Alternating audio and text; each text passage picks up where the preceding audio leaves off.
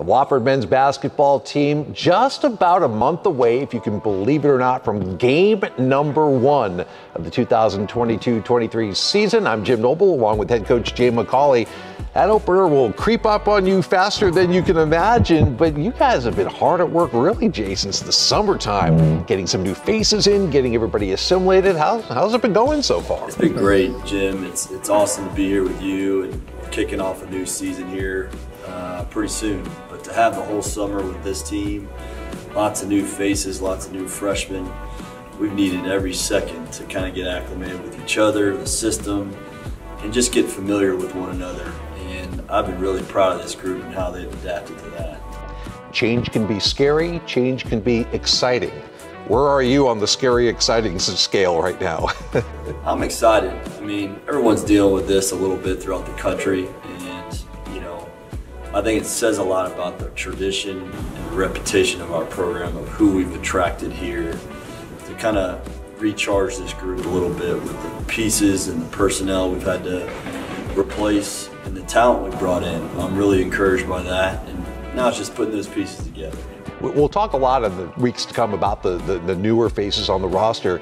But man, your nucleus, if we can keep them healthy, BJ Mack, Messiah Jones, Corey Tripp, and some of the other returnees, that is the a foundation for a team that can really do something. It is. Our front court, I think, you know, I would argue it's one of the best in our conference, if not in the country, just in terms of the experience, the size, the skill.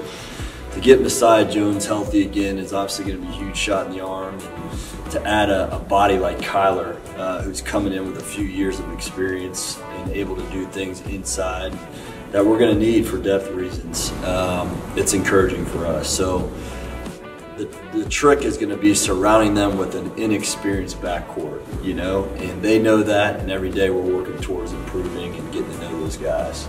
Finally, as you look at the Southern Conference, it's, it's never a cakewalk at, at this place. Furman's going to get a lot of first place votes. They have a lot of returning talent.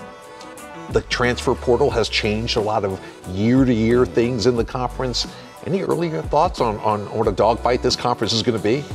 Yeah, it seems like we're asked this every year, right? The last five, six years, especially in our conference. And it, everyone thinks there's going to be a little dip, but it really doesn't change. It's been getting stronger and stronger.